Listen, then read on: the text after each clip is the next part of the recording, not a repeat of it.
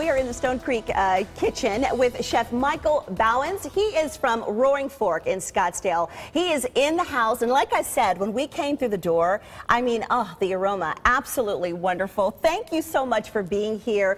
Bold Western American cuisine. That is what you all are known for at the Roaring Fork. You're the executive chef. Congratulations Thank just you very getting much. over there.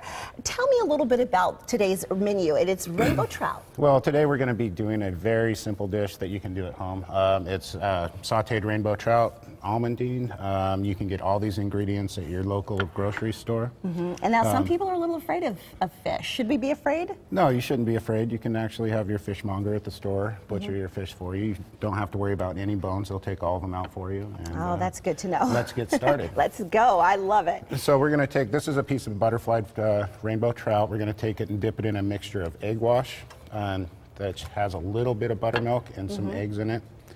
But it should be filleted at this point. Yes, it should be filleted at this point, All which right. this one is.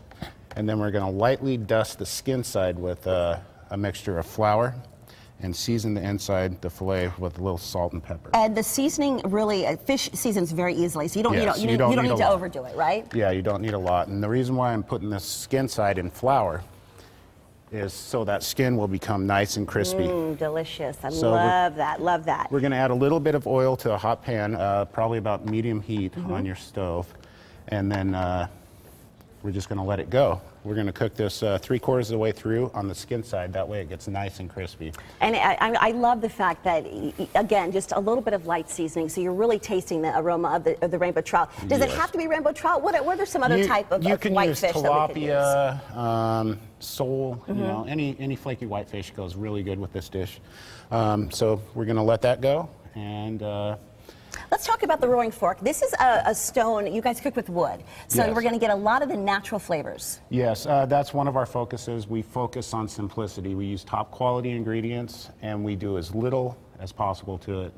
Use the proper seasonings, bring out the flavor, and use the proper cooking techniques. But at the same time, we're still feeling very intimate. It's still a very intimate uh, setting. You can go there for your, you know, your anniversary, for your birthday. It- You know, even though it's it's modern, it feels good. It's comfort food for It's, you. yes, it's comfort food. Um, it definitely is comfort food. Uh, we focus on the desert Southwest. Uh, Mm-hmm. We call it. We like to call it cowboy cooking. Cowboy cooking. And tell us what are some of the one of some of the dishes that we will find there Um, in addition to the rainbow trout. We have an outstanding green chili pork. Uh, we have a duck. Uh, it's a duck breast. Uh, it's one of Robert McGrath's uh, Mm-hmm. original recipes. It's uh, got a sweet cherry or a sour cherry demi glaze and uh, onion jam on it, served with uh, little baby Brussels sprouts. Love that. And I love that you were talking about, you know, cooking it with down on the so that we get that nice little crunch, that nice Yes. little flavor. That's, uh, Do we need to flip the, the fish at that point?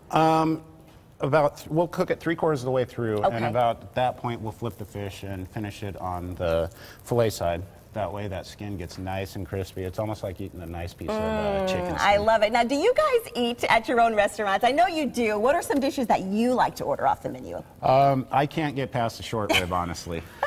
you, you haven't found a short rib that you that you don't like. And and this is a pretty extensive uh, menu. A lot of folks tell you, you know what, you should order off menu. Tell us how we can do that. Do you have some special dishes that are not necessarily featured? Uh, we have daily specials. Your ser- server should be able to explain those to you in detail. Um, but other than that, yeah, I mean, I would definitely order the specials off the menu. Um, we prepare them daily. They're fresh. They're delicious. And the short rib, that's what you're, you're giving the thumbs up for I'm that. giving the thumbs up on the short Well, rib. we do have another um, item that he's going to be cooking. Uh, uh, Chef Bouwens is going to be back with us, and he's going to do the pair to this, which will be um, a green bean. It's going to be a sauteed green bean with some uh, cilantro butter, some red onions, and we'll be sounds making a pan sauce for this fish also. Oh my goodness, it sounds absolutely, it smells wonderful. We're going to get to that in just a little bit. We do have these recipes on uh, our website as well. So we're going to be back, Terry, but my tummy, mm, it's starting to get a little rumbly.